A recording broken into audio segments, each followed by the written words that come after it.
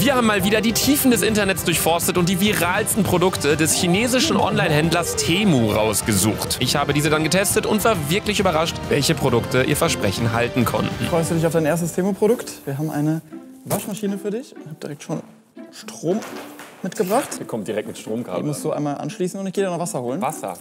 Ja, Also zum ich wasche jetzt selbst. Ja.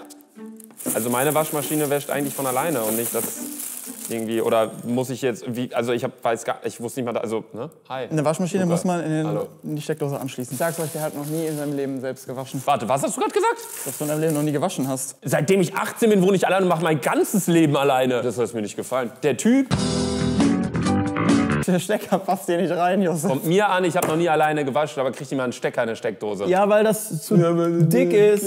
Ja, das kenne ich hi guck mal mein Name Ja. Hallo. Schön. Also das ist jetzt auf jeden Fall eine Waschmaschine. Ich wusste, wie bereits gerade gesagt, nicht, dass man so etwas auf Temu bestellen kann. Übrigens, Temu auch der größte Rotz. Wir haben einen Monat auf diese ganzen Sachen gewartet. Und jetzt kam alles vereinzelt an, teilweise nach Essen geliefert oder so. Wir dachten auch, wir kriegen diese coolen orangenen Temu-Produkte, die man überall sieht. Nee, ein paar Sachen kamen einfach in so Plastikdingern. Das Ding, also Temu verpestet die Luft mit diesen ganzen Transporten aus China. Macht es nicht nach. Das ist alles Schrott. Aber schauen wir mal, ob das Ding funktioniert. Du musst das noch aufklappen. Nee, aufklappen. Das ist ja eine Waschmaschine. Stinkt auch ganz äh, Mach mal, mach mal Kopf hier rein. Ich bin drin. Ich bin in der Waschmaschine. Digga, das ist ja so hart an der Seite. Das hat so weh getan. Die Waschmaschine ist am Strom angeschlossen. Hat auch noch mal gepiept. Wir haben auch eine Anleitung hier drin. Vielleicht braucht ihr einfach Scheiß auf eine Anleitung brauchen wir nicht. Evakuation. Kannst du Französisch? Evakuation? Das ist Evacuation, evakuieren. Alex, wir brauchen keine Anleitung. Das Ding hat drei Knöpfe und keiner von denen funktioniert. Vielen Dank, dass Sie sich für unsere tragbare Faltmaschine entschieden haben, um Ihre Sicherheit zu gewährleisten und Personenschäden zu vermeiden. Solltest du Verletzungen oder Schäden an der Ware kommen, lesen Sie bitte den, die, die darin enthaltenen Anweisungen sorgfältig. Okay. Ich glaube auch, man sollte da nicht eigentlich seinen Kopf reinstecken.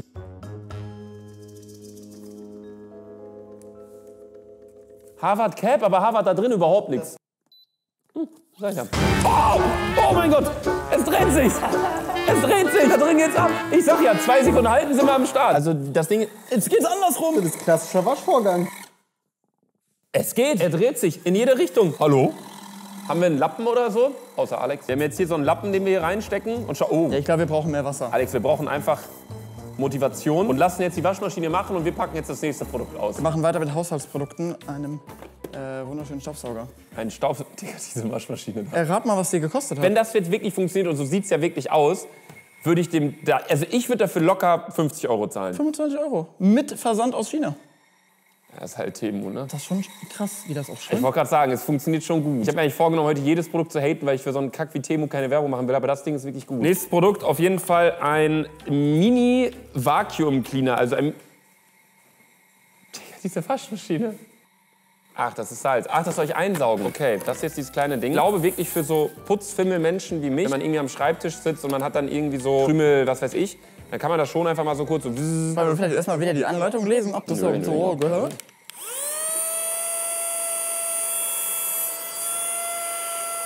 Oh. Oh! Ja, okay. Aber was macht dieses Ding da? Das funktioniert ja echt krass, diese Waschmaschine. Sorry, falls im Zwischendurch die ganze Zeit halt dieses...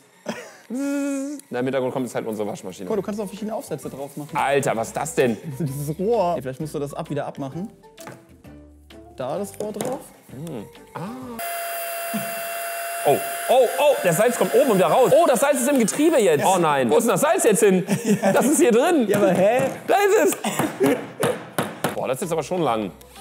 Also, würde ich jetzt sagen, dass das schon relativ lang ist. Also dieser Staubsauger ist wirklich, und okay, die Waschmaschine ist, also bisher, ich bin begeistert. Ich wollte es nicht sagen, aber bisher beide Produkte. Gut, ist natürlich Schwachsinn, denn normalerweise hat man halt eine große Waschmaschine zu Hause oder man hat einen vernünftigen Staubsauger und der hat jetzt wahrscheinlich auch nicht so eine lange Akkulaufzeit und ist jetzt auch nicht so effizient. Aber für Studenten finde ich ganz geil. Gucken, wie es hier aussieht. Oh! Was ist das denn für ein Schaumbad? Das ist aber, glaube ich, ein Temo-Produkt, was nicht so funktioniert hat. Weil das sollte. Ja, was denkst du denn, wie viel hast du denn bezahlt? Naja, es waren 40 Euro, aber ich dachte halt, dass das ein größeres Auto ist und nicht so ein Mini-Ding. 40! Ja, das sah aus wie so ein ferngesteuertes Riesenauto. Ja, ist es. Ja. Cool. Ja, kann der was? Kann der zumindest Nein, das aufziehen? Ding kann nix. Das war halt so krass für diese Autos, du so, so, dann hat man so die Hinterräder festgehalten, damit man nochmal so weiter aufziehen konnte. Und irgendwann ging nicht mehr, dann ist das Ding bis nach Düsseldorf gefahren. Das ist weit, weil Düsseldorf ist in der Hölle.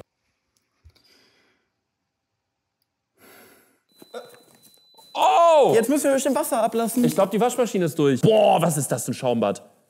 Alter. Also vorhin haben wir einfach 10 Minuten Standardwaschen genommen. Wir haben noch 15 Minuten Softwaschen und 2 Minuten Semi Semi-Dehydration. Soll ich einfach mal draufklicken? ja. Nein, man kann nicht auf Dehydration gehen. Ich glaube, du hast die Waschzeit auf 15 Minuten verlängert, steht hier. Drücken Sie dieselbe Taste erneut, um Waschzeit auf 15 Minuten zu verlängern. Nein, wir lassen jetzt Wasser ab. Ich und Waschi. Ab zum Waschbecken. Ich mache jetzt einfach mal den Nein, da Abfluss ist doch auf. so Ne? extra so ein Ding. Ja, ich sehe es ja. Hier. Oh, uh. oh fühlt mich wie an so einer Quelle. Also das kriegen wir jetzt halt nicht raus. Soll ich mal nach dem Lappen sch- fischen? Ach, das war einfach, da ist er. Ja, riecht äh, nach Spüli. Ja, das Problem ist, wir haben jetzt hier natürlich einfach nur ein Schaumbad, ne? Ja, normal Wenn machst ihr du da anschaut. rein und nicht sowas. Ja, ja, okay, gut. Hat man normal, wenn man wäscht, hat man wahrscheinlich nicht so eine Schaumentwicklung. Ne? Ich habe noch nie einer Waschmaschine irgendwie beim Waschen zugeschaut. Also der Lappen ist auf jeden Fall sauber geworden. Man muss allerdings auch sagen, der war vorher gar nicht dreckig. Nee. Ah, oh, oh, Minecraft-Block einfach. Es ist lustig, das einmal zwar, ich würde es nicht nochmal benutzen. Weiter geht's mit dem nächsten Produkt, weil du ja so sportlich bist. Äh, finde mal heraus, was man damit macht. Ähm, Was steht's da drauf? ich würde, nee, hier steht wieder Ah, nur drauf, dass wenn man Gefahren vermeiden will, dass man das von Kindern fernhalten sollte. Nein, das machen wir jetzt nicht. Wir sind ja keine drei Jahre alt mehr. Für so ein Ding, das musst du doch nicht nochmal in Plastik einfach, oh. So? Nee. Ja, okay, dann für die Beine, denke ich mal. Oberschenkeltrainer. Das sieht wunderschön aus. ist krass, oder? Für mich wie beim äh, Venensimulator-Video. Ja, okay, es ist halt so eine Adduktoren-Abduktoren-mäßige Maschine. Ich weiß immer nie, sind das jetzt Abduktoren oder Addukt... Nee, das sind Adduktoren, ne? Siehst du, er macht auf Profi und hat aber keinen Plan.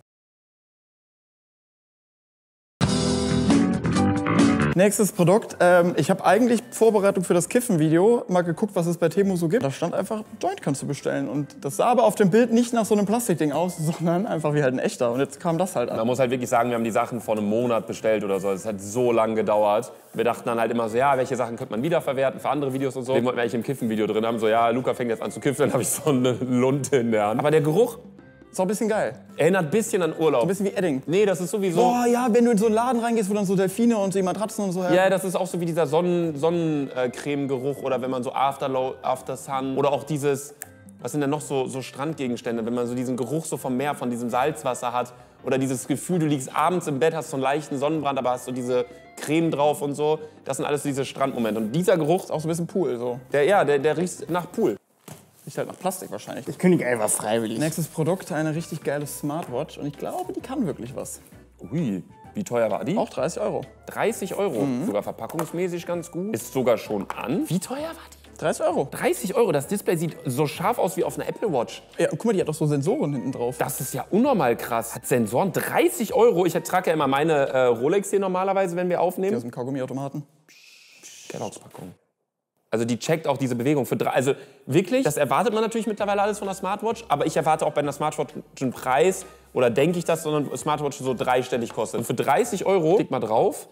Hat die überhaupt Tasten? Hat hier eine Taste? Ja. Nee, da geht es nur außen an. D-Mode ist enabled, calls and not. Okay, das ist so Silent Mode. Ich habe Low Power Mode, also einfach Energiesparmodus. E-Cards in die App. Okay, man kann sich anscheinend eine App runterladen, um so seine Dings noch einzubauen.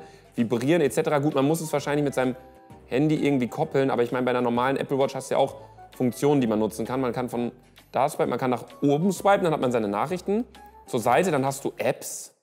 Was macht das Herz? Das ist die Aktivität. Alter, der trackt deine Schritte. Ich habe heute sieben Kalorien verbrannt, seitdem ich auf habe. 140 Schritte? Ja, das ist safe. Vielleicht hat er meine Schritte schon gezählt, als ich die getragen habe. Nein, der kann meine Herzfrequenz messen. Wäre aber auch krass, wenn da jetzt einfach so eine ausgedachte Zahl steht. Ich würde schätzen, jo, 74. Willst du die mal vergleichen mit einer Apple Watch? Also die Apple Watch sagt, ich habe aktuell einen Puls von hm, 69 jetzt gerade. Sinkt ein bisschen. Wir schauen einfach, wie sich das dann so updatet. 72, also so in dem, in dem Radius um die 70 rum. Die neue Uhr für 30 Euro sagt 83, 84, 86, 87. Ich meine generell so vom kompletten Bedienen, die Apple Watch ist einfach, das ist krass. Ne? Du gehst hier rüber, das ist so schnell alles mittlerweile. Das Ding ist schon so ein bisschen, ist halt 30 Euro. Aber ich glaube, wenn man die mit dem Handy verbindet, kann die echt geil sein. Die ist halt extrem leicht, ne? Also wenn du die Die vergleichst. ist halt auch nicht aus Titan. Oh. Ja, und diese Ultra, die ist natürlich auch nochmal deutlich größer. Also bisher wirklich, außer der Lamborghini, bei jedem Produkt ist jetzt ähm, nicht, gar nicht so, so schlecht. komplett scheiße gewesen. So, nächstes Produkt. Wir kennen uns ja schon mit Taschenlampen aus. Eine Multifunktions-Flashlight. Eine Multifunktionsflashlight. Wir hatten ja letztens schon mal eine Taschenlampe bei den Amazon. Genau. Aber das war ja auch so ein Markenprodukt. Die war ja richtig krass und die hat, ich glaube, 8 Euro. Nee, sogar weniger. 4 Euro oder so gekostet. Trotzdem hell, oder? Ja. Oh, yo! Oh mein Gott! Wir haben bei der Taschenlampe nicht nur diese Funktion, sondern auch das hier. Das! Ah, guck mal. Nee. Wundervoll. Oh. Und wenn man nochmal drauf drückt, Seitenlicht. Oh, das ist krass. Das ist echt krass. Also dann kannst du irgendwie so rum. Ich, also macht jetzt eigentlich keinen Unterschied, ob du das jetzt so machst Das ist auch wieder hell. oder so dann irgendwie eine Richtung. Aber for real, die Waschmaschine gerade nochmal gepiept. Ich glaube ja. For real, ich glaube, diese ganzen Sachen, die werden uns beim Campen richtig weiterbringen. Ich weiß nicht, ob ich jetzt falsch in die Zukunft gucke und es wird beim Campen so sein, dass wir dann die ganze Zeit einfach nur pennen werden, sobald die Sonne untergegangen ist, weil wir so tot sind. Aber ich freue mich richtig auf dieses Campen. Auf dieses Ding freue ich mich schon so sehr, weil das ist wieder so ein Produkt, du wirst es, glaube ich, hassen. Ich habe das eigentlich bei TikTok gesehen, aber es gab es dann bei TikTok. Was ist das denn? bestellt. Ein Glass Shaver, ich habe keine Aber Ahnung. soundless, also ohne Sound. Also angeblich soll man sich mit diesem Ding rasieren können, indem man das einfach so über die Haut drüber fährt. Das fühlt sich schon ganz komisch an. Ah, ich würde sagen, heute ist der Tag, wo Alex auch mal ein Produkt testen darf. Sag mal live. So? Ist doch überhaupt nicht an, oder? Das kann doch nicht sein, dass das hier, dass das jetzt Haare entfernt. Ja, einfach durch die Reibung dann oder was? Nimm mal weg. Doch, doch, guck mal, guck mal hier. Hä? Ein Haar, weil du das so nein, drüber nein, nein, nein, nein, hast. nein, guck mal da auf dem Boden. Guck mal hier. Oh mein Gott! Das klappt ja wirklich. Hey, what the fuck? Tatsache. Alter, ich hab hier seine Bart, äh, Dings, äh. Digga, was? Fühl mal. Alter! Das ist krass, oder? Das funktioniert ja auch! Scheiße. Ich dachte, das wäre das beschissenste Video hier heute. fuck. Alles funktioniert bisher. Josef, fühl mal. Ey, du fühlst ja nicht mal Stoppeln. Das fühlt sich an wie so ein Babypopo. Was? Du fühlst nicht mal Stoppeln. Ich weiß nicht, ob das bei mir mit meinen Südländerhaaren vielleicht... Yusuf, du bräuchtest dafür zwei Jahre. Ja. Digga, film mal den Stuhl. Als wenn da jetzt so viele Haare überall sind. Hier, das sind alles Haare. Da sind auch alles Haare. Wie geht das? Ja, also no more hair growing glaube ich jetzt nicht. Ja, das ist wahrscheinlich Bullshit. Aber auch Soundless Hair Removal, weil ich nicht geschrien habe, oder was? Nee, aber obviously ist es soundless, wenn da kein Strom oder irgendwas Ja. drin ist. Wie teuer war das Ding? Drei Euro. Ey, Luca, ich habe was richtig Exklusives. Und zwar gibt das Produkt noch nicht in Deutschland. Es ist ein Apple-Produkt. Es wurde auch noch gar nicht released. Es ist wirklich ein unreleased Apple-Produkt. Das ist irgendeine Scheiße. Das Wahrscheinlich sind- ein Apfel. ich Das sag's ein sind die Apfel. neuen AirPods Ultra Pro. Das ist krass, oder? Ey, in der Zeit aktuell. Ach, das Ding ist mit einem Kabel. Nee, nee. Natürlich, hier sind wir. Ja, ja. zum Aufladen. Lol. Was sagt er? Ah. Muschie. Muschie. Was ist das hier? Mode? Mach Radio. Aber er sagt immer Muschi am Ende. Das hier ist jetzt quasi ein Lautsprecher. Also wie eine Bluetooth-Box mhm. quasi. Ich dachte jetzt erst, es wäre einfach ein Föhn oder so. Und Alex würde mich verarschen, weil obviously launcht Apple ja kein exklusives... Genau. Obviously launcht Apple ja kein exklusives neues Produkt auf Temu. Deswegen war uns, glaube ich, allen direkt klar, dass es ein Schwachsinnsprodukt ist. Bin aber mal gespannt, wie der Sound ist. Kannst du mal mein Lieblingslied anmachen? Also vom Sound her, wie teuer war der? Mm, 20 Euro? Ja, kriegt man schon bessere Boxen. Aber so in dem Design und so ist in Ordnung. Schon stark. Also wenn er jetzt über 30 gekostet hätte, hätte ich gesagt, komm, kompletter Schwachsinn. Aber wenn man sich den einfach so ins Regal legen will, Aber ja, woran passt der ins Ohr? ich habe es nochmal getestet, ich glaube nicht. Beim Sport fallen mir raus. Das waren auf jeden Fall die Temu-Produkte für heute, meine Damen und Herren. nicht kaputt. Ich bin positiv. Ich bin positiv 蓝 überrascht 牙 von dem. Ich bin positiv überrascht von den Produkten heute, von der Waschmaschine. Klar, jedes Produkt hat so ein bisschen seine Fehler, so die Aufsätze beim ähm, Staubsauger haben nicht richtig funktioniert. Bei der Waschmaschine konnten wir den anderen Modus nicht auswählen. Hier ist der Sound jetzt auch nicht so gut. Lamborghini kam so ein Kackprodukt. Ich meine, was will man erwarten, wenn man bei Temu bestellt? Aber trotzdem sehr interessant. Das Ding ist auch schon komplett verkratzt. Alex, willst du zum Ende noch mal was sagen? Äh, diesen Rasierer finde ich krass. Den nutze ich jetzt immer, sage ich dir. Ich komme hier nächste Woche mit komplett rasierten Beinen rein. Ich finde ja auch Staubsaugen macht so Spaß. Ne? Ja, es kann Spaß Es machen. kann so satisfying sein, wenn man so einen geilen Staubsauger hat, irgendwie so Dyson oder irgendwie so kabellos.